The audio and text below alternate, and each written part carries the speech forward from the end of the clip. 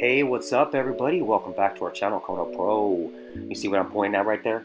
This is one of my client's house. This is one of his properties, and he had me come through to do some uh, repair work on that gate right there because the firemen during the Calabasas Mulholland fire had to uh, have access to that little that little area behind this house that caught on fire to put it out.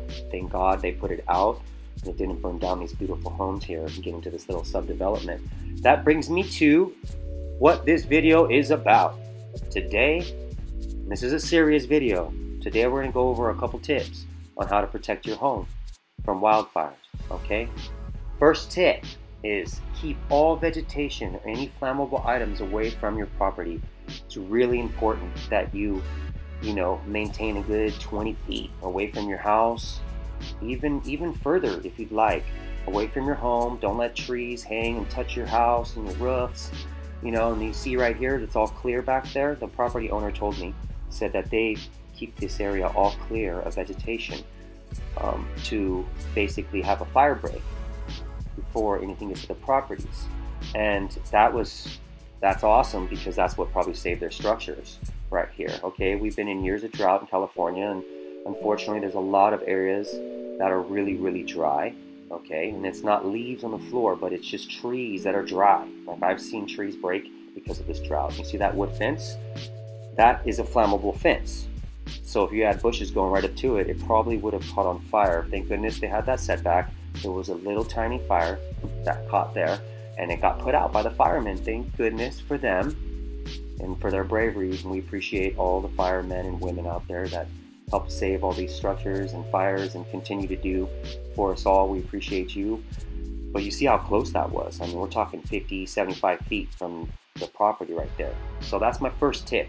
Maintain a clear area around your property where there's nothing flammable that can catch on fire. Okay?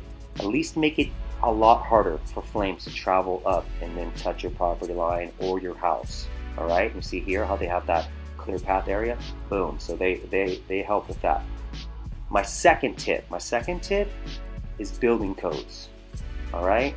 There are zones in certain areas that people live in. Like right here, this is probably a high fire zoned area. So if I were to go in there and build a house right now, they'd make me build it per different fire codes okay? And everything would be drawn up on the plans and would be provided for me, and I would build it per the new fire codes because codes are up, you know, upgraded all the time. Um, and this is a high fire area. So if you have an old structure that's built before the fire codes were, um, you know, in, implemented, then you might have a home that's more susceptible to fires than a home that's more modern and that's built with fire coded stuff. Okay. And what I mean by fire codes, I mean by a, a fire rated roof. So if an ember lands on it, it won't catch the roof on fire really quick. Um, back in the day, they used to have California shake roofs. All California had shake roofs, which is like a wood, cedar shake roof. And that will catch on fire really quick. They made that illegal really fast. And there's other fire um, fire rated material that you can put on your roof to help protect your roof. And then there's eaves. A lot of times when the wind is blowing and there's uh, ember, that gets caught in the air. It'll spread from structure to structure because of the eaves. If you have a gable on your house and you have an overhang, the eaves will catch up in that overhang and the wind will create a little vortex and it'll spin and the eaves and then the ember will just get stuck right up to right onto the eave and then it'll just the wind will keep igniting igniting it and it'll light on fire next thing you know it's in your attic crawling up the roof your whole house is gone and then it'll jump to the next house it won't even burn the grass it won't burn the trees around it. It's just because that's all green. It'll just jump from house to house to house. All right. So there's a thing you can do. You can upgrade your home. It may be expensive, but you can upgrade your property per fire codes in your area. You can have a contractor come out, an architect, an engineer come out. They can go over everything with you that you can do to your house to help be proactive and help protect your home from fires. I recommend you do this. Please, if you love your home, it's your dream home or just your property investment, whatever it is, please go try to upgrade your house as best you can per fire codes, especially if you're in a high fire zone area. All right? And lately in California, it seems like that's everywhere. It's been so dry and there's been so many fires. Okay, so now we're going to take a cruise. That we got those two major points over with. Those are my main points. We're going to take a cruise through Mulholland, right? Calabasas area. You see that vinyl fencing right there? Done. Melted. If that was a concrete brick wall, it would have been there still. See that? There was a there's a house. There was a house. Um, I like to say rest in peace. That house is gone. And you know, it's it's a shame, but you can see all the trees around it. And a lot of people like to have all the trees around their house because of insulation and things like that. And that's not so bad if your home was built per fire codes and you got, you know, all these different things in your house to help, you know, so your house won't catch on fire. See that vinyl fence right there? Boom, gone, just melted.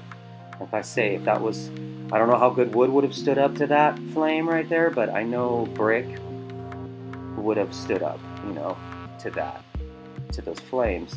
So there's different things you can do to maintain your structure being safe. So right here, I was cruising through Mulholland, and then I saw these lines. There's a bunch of power lines down and just melted, and you can tell the flames came racing up this hill. And like I say, I'm not a fire specialist.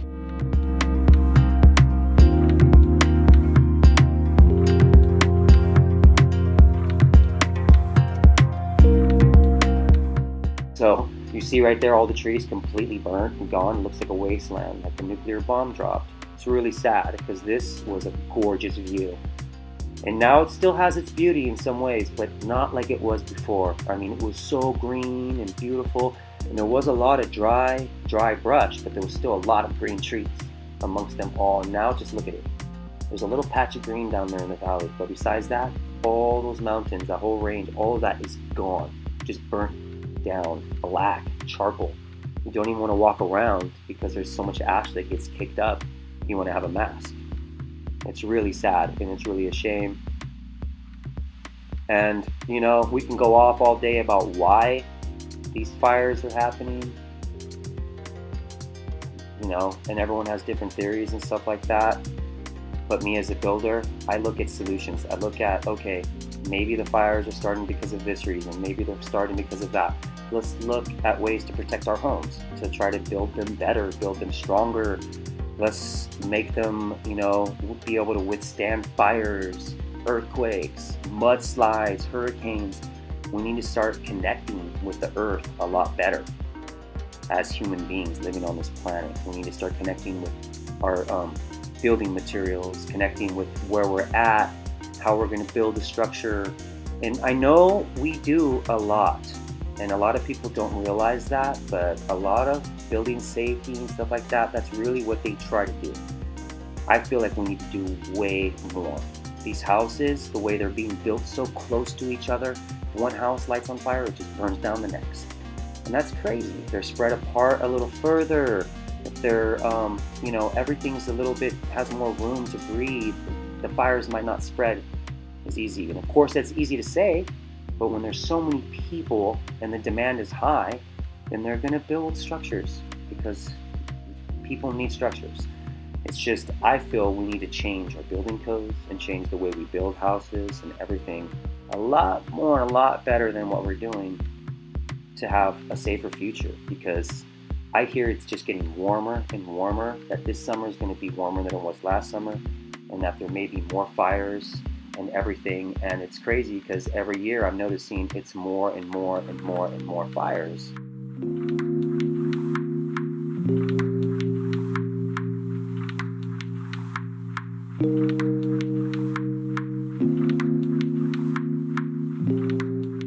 You see that right there? That car completely just lit on fire. And you see those? They look like arrows, right? Those are actually the rims that melted off the car and it created that effect. It almost looks like arrows. A little creepy to me when I first saw that, but yeah, that's what it is. There's another shot coming up here. You see that right there? The rims completely melted and just dribbled down the street like it was liquid. That's how hot, that's how hot this fire was. And when you have wind blowing, wind blowing, wind blowing, it's almost like a kiln. Like it's just so much wind blowing and the flames just so hard coming up the hill just keep going and you have all this fuel, houses, houses, houses, it'll catch metal on fire, it'll catch everything on fire. A lot of people think that metal can't catch on fire. Oh, yes, it does. And once it catches on fire, it's a lot harder to put out. But you see that right there? Look. Boom. Crazy. That's a rim melted. So, like I say, I'm not a fire specialist or anything like that. I'm just a builder. But please look into some building codes. Call building and safety. Um, Google it. Check out where you're zoned. And there may be things you can do to protect your homes from these really devastating fires, okay? And one other really important thing is always have a plan. Always have a plan of escape. If you live in an area that's has a lot of fires, then please have a plan of escape. Know your ev uh, evacuation routes. Make sure you're ready to go if something happens, okay? To protect yourself and all your loved ones. All right, so hey, I hope you all enjoyed this video. We appreciate you all. Please subscribe to our channel and um, give us a thumbs up and leave a comment. All right, we appreciate you all again. Like I said, stay safe out there and uh, watch your backs, everybody. Keep yourself safe. Going up out. Peace.